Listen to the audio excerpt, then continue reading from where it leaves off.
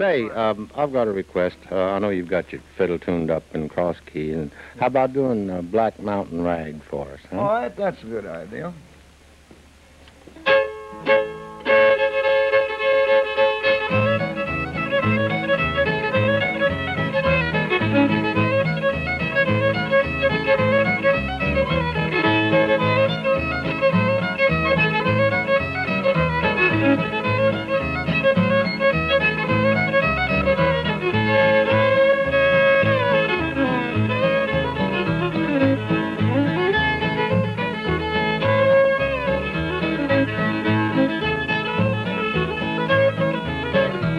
thank you